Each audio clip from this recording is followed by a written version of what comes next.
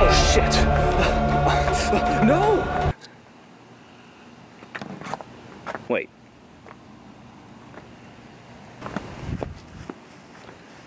Wait, where are the enemies? This is so weird, I... Hold on. Outlast... 2...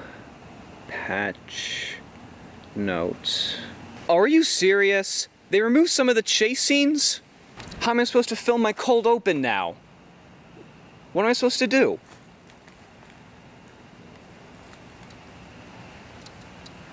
Wonder where my wife is. Wait, is that a note?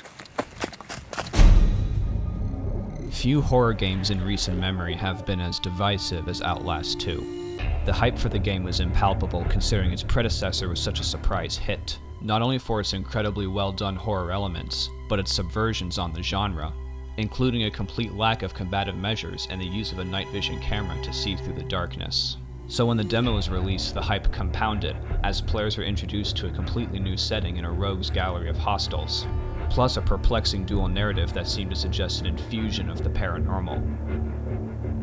And with the release being delayed from October 2016 to April 2017, fans were positively exploding with anticipation. The game was by no means a critical or commercial flop. It still received praise from the same reviewers and fans, but that praise seemed to come with a lot more caveats this time around. Most of the criticism was centered on a confusing story, frustrating gameplay, and gore so excessive that it alternated between gratuitous and mind numbing. The cast of characters didn't seem to resonate as well with players either. Marta was no Chris Walker. Nick and Laird were no Dr. Trager, and despite Val's best efforts, she couldn't win our love like our darling Eddie Gluskin. Darling. However, what the game does well, it does phenomenally. The graphics are gorgeous, the scares are heart-stopping, and the narrative, once pieced together, is both tragic and beautiful in how deep the corruption of it all runs. Overall, it is a brutal, and enthralling experience, bursting with creativity and depravity. Media of this scale often undergoes a lot of twists and changes before its release. Which brings us to the topic of this video, Outlast 2 Cut Content. With a game so convoluted, it's no surprise that certain lines, story beats, and gameplay mechanics were conceived, developed, and ultimately scrapped. But over the years it became apparent just how much was thrown away from Outlast 2. So much it merits its own video discussing what could have been. For the record, we're not going to talk about the patch released in 2018 to rectify perceived difficulty issues, nor any secrets or theories about the game. What I'm interested in is the stuff that was left behind. Firstly, let's address a popular talking point about its pre-development, that the game had to modify a rape scene in compliance with Australian censors. This was referring to the sequence where a drugged Blake Langermann is set upon by Val in the mines. This got some fans to complain that thanks to Australia, Outlast 2 was going to be censored worldwide. According to a statement by Red Barrels, however, a wrong version of the scene was accidentally attached to the game sent to the Australian Classification Board for review. The ACB's description of said scene is indeed much more graphic than the one we got, with a not so implicit reference to Val giving Blake oral sex. You have to get his penis erect. So what you're gonna do is just suck his dick, just like you said you were gonna do. Where was I?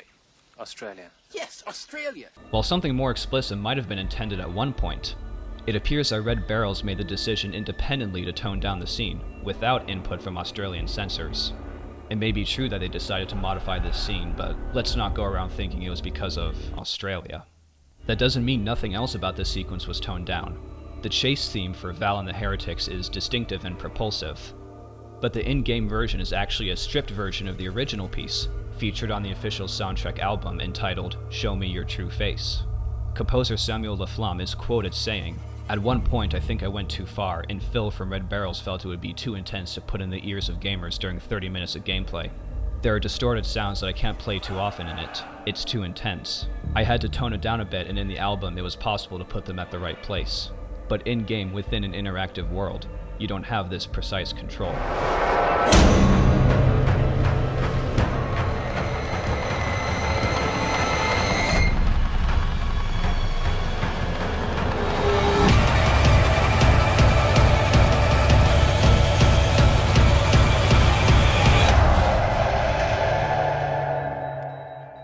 On its own, the track is much more panic inducing, but from a practical standpoint, I can understand why it was altered. It's interesting to see how even elements of the music had to be toned down for content. Even as early as the demo, one suggested concept was a sequence where Blake loses his glasses. This, hypothetically, would have led to a sequence in game where Blake has to recover them, and the player's vision would be blurry while they attempted to navigate the environment and dodge enemies. Sure enough, in game there are a few sequences where Blake indeed loses his glasses and his vision goes blurry, only to immediately put them back on. This idea is never fully explored in game, and that is a bit of a disappointment. If pulled off correctly, it could have been one of the game's scariest moments the player wandering around blindly, not knowing if the thing in front of them is an enemy. It's likely the developers simply couldn't make the sequence work as expected and scrapped it, while neglecting to remove the previous lose glasses animations. Regardless, fans and players definitely noticed. One handicap that was definitely conceived and then scrapped was Blake's asthma inhaler. Thanks to Redditor's stressed out musician, we have a model and animation of the player administering an inhaler, presumably after an extended period of running. This is corroborated by voice lines that seemingly allege to the player having asthma. Oh, fuck. Uh, too tight. Uh, just gotta breathe. Can't breathe. Most likely this concept proved too much of a hindrance to include, especially considering the player's limited stamina and need for bandages. Or maybe they just thought Blake was lame enough already. This is my inhaler. Speaking of Blake, exploring the game's audio files further reveals a plethora of voice lines that didn't make the cut. This isn't unusual for video games, but considering that Blake as a protagonist is hit or miss with fans, the inclusion of some of these lines might have added some layers to his character, accentuating his deadpan sense of humor and descent into madness. Here are some of my uh, personal favorites that, as far as I know, weren't in the main game. Well, this is gonna be a ridiculous way to die. Absolutely fucking nope! He couldn't get to her. You already failed her. You've always failed. A raft. That seems seaworthy. Kind of.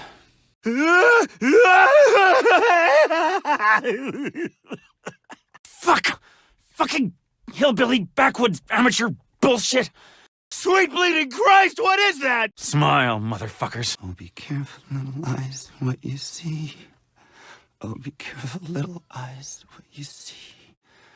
There's a father up above, and he's looking down in love. So be careful, little eyes, what you see. Lift me up.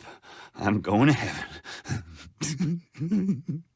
I would fucking kill myself. I would have really loved for these lines to find a home in Outlast 2, to give Blake something more to talk about. You know, something more than just nuking Temple Gate with F bombs. Oh, fuck me! I happened in the crash. Fuck this. We now turn to the game's main antagonist, Sullivan Knoth, whom you only see a grand total of twice. Of note is some of his concept art taken from the Nintendo Switch Outlast bundle by Redditor, uh, Luvisia? Luvisia? Okay. They're pretty conventional in terms of concept art, with the exception of the fourth one. I mean, look at him. he looks like a dad. like Papa Knoth's gonna crack open a cold one and watch a game of football.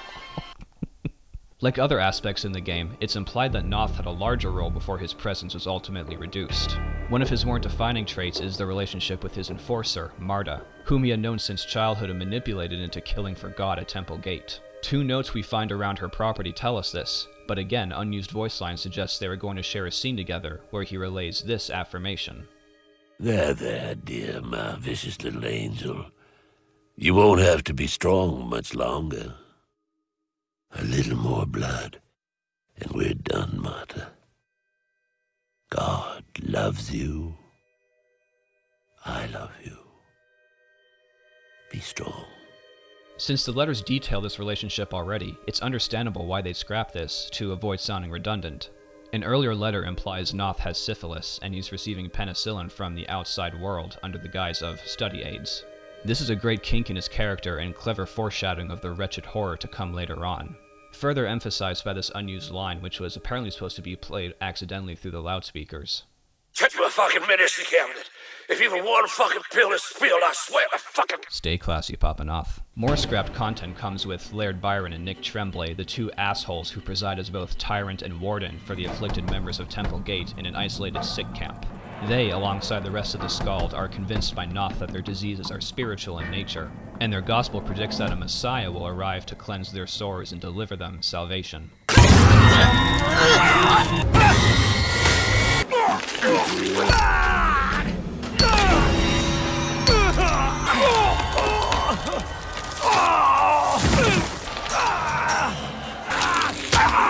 half-wit dogs! Blake, naturally, doesn't seem to want to go along with it. Near the end of this revolting section, Nick and Laird are betrayed by their oppressed subjects and push off a building, where they crash into the dock below and perish from the impact. In the full game, they just die and nothing happens, while Blake pulls out his camera to film them like the sick fuck he is. My dad died within a month of my mom. He was perfectly healthy until she was. No one cares! But Laird's voice lines suggest a more tender moment between him and Nick had been planned, yet again, ultimately scrapped. Get Off me! Get Off me, Nick! I can't breathe! Nick! Get up! Nick! I'm sorry. I'm so sorry. News, Nick. We're not sick no more. He made it so we ain't, never gonna be sick again. Now, this is something I truly wish had been in the game. Despite their assholery, Nick, Laird, and the Scalled had been deceived, driven to the brink by their own devotion, their sicknesses, and Murkoff's experimental microwaves. Sure, they tried to kill us, but they truly believed that it would absolve them from their afflictions, which they were told was brought upon by their own spiritual shortcomings. That moment of mercy and self forgiveness before their death gives these characters a resolution, a well rounded catharsis to all the suffering they'd endured in Temple Gate. Now, after so much depressing talk, let's talk about love. Specifically, the love one gives to a child. Real talk though, if you have headphones, uh, plug them in. What's coming up is not something you want playing out loud. Outlast 2's big selling point is its school scenes, a hallucination induced parallel narrative told in reverse. The setting and atmosphere change is incredibly jarring yet extremely effective. St. Sybil's is filled with trippy rooms that defy logic, bloodstained religious imagery, and its two ghostly entities. Visions of Jessica, a fourth grade girl who went to school with young Blake, and. This fucking thing. A handsy, tonguey, schlongy demon representing a monstrous version of the school's music teacher and priest, Father Loutermilch. What's that? A priest? Plus a little girl? In a horror game? That's bad news bears. There exists this cool concept art of the demon featuring something that kinda resembles a Samca from Resident Evil Village, but I do prefer the final version we got. The game reveals that Loutermilch was systemically molesting Jessica and that his actions led to her death, which he subsequently framed as a suicide and shamed Blake into going along with. In game, the priest's voice haunts Blake from both the real world and the hallucinated world, mostly manipulative taunts to force Blake into silence. Although more salacious lines exist in the staticky video recordings when played in reverse, some of the most explicit content didn't make it into the game at all.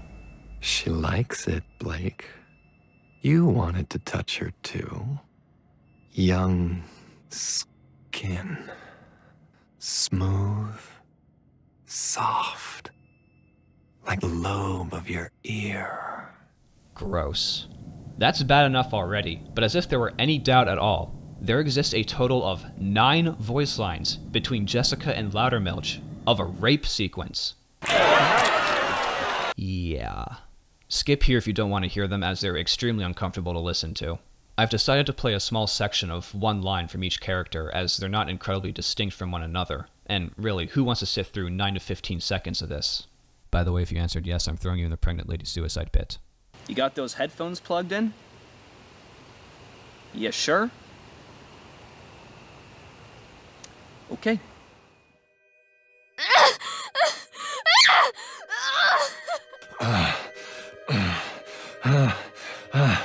Isaiah, Ah. Most likely, these sounds would play as Loutermilch closes the door on Blake, if the player chooses to stick around instead of immediately running for the exit. Frankly, I'm glad the developers opted to cut this out. The implications of sexual abuse between Loutermilch and Jessica were pretty brazen already, and I'm sure including the sounds in the game would have put anyone who bought a copy on some kind of watch list. Sometimes it's best to just leave things up to imagination. The most significant scrapped content comes from the game's climax, where Blake descends into the mines. Firstly, one thing that's never really addressed is the earthquake that's going on as Blake barrels through the underground tunnels. Walls rumble and rocks crumble, and another unused Sullivan Knoth voice line suggests that everyone in Temple Gate was feeling it as well. Ah! Uh, children! Children! Ch- children, stay calm. Nothing shakes the earth but the will of the Lord, and God's on our side. We got nothing to fear. Us doing His work. The Lord's wrath is kept for blasphemers, for the enemy, for the disseminator of His foul seed. Pray and hold fast. God loves you. In another instance, these images courtesy of Redditor Okian Pizes Paises? Courtesy of this Redditor, show a crank and a generator, plus a video of what appears to be pistons located in the mines that the player apparently had to stop to crawl underneath. This was most likely cut because it was too similar to previous sequences in the town square and with the water wheel. Although it does give some context to the seemingly throwaway line from Blake when live wires block his path. Jesus, those wires alive. How the fuck are they getting power from? As discovered by YouTuber Mercy, Blake and Lynn's escape from the mines was supposed to be different as well. Glitching past a pile of rubble reveals yet another generator, this time labeled Elevator Power Generator, which presumably would have been used by the Langermanns to arrive at the surface. The real focus of the mines, however, concerns one character in particular. Val is probably Outlast 2's most intriguing villain. There's so much to be said about her character, yet her presence in the story seems diminished, and she's given an unsatisfying conclusion. In the game, it's implied that she was killed along with the rest of the heretics at the hands of the villagers. Yet it didn't take much to figure out by comparing unused voice lines that a much different fate was intended for Val. But now, we have the models in animation. Here's the sequence in its entirety.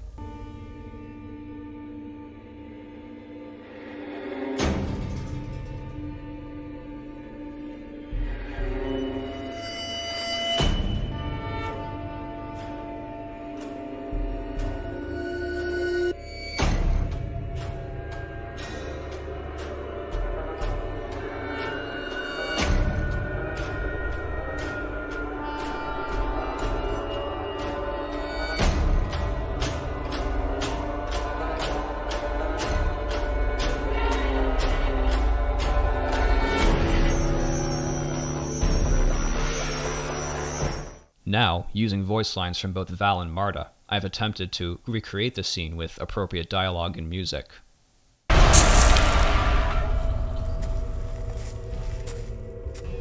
Strange, pale fruit, you're going to love me.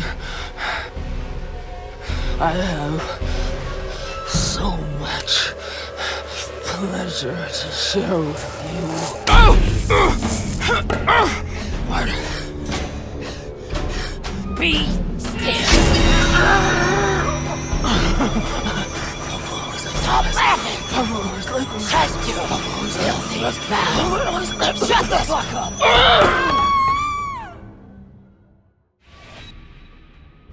We know that Val was once a Temple Gate top confidant before she defected and brought together the heretics. So this final exchange with Marta is her literally getting the last laugh, taunting her with the notion that she was Knoth's favorite as opposed to Marta.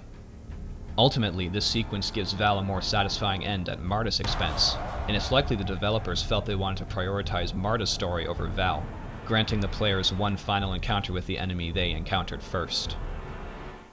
Say what you want about the impact of that encounter, but that's what we got in the end.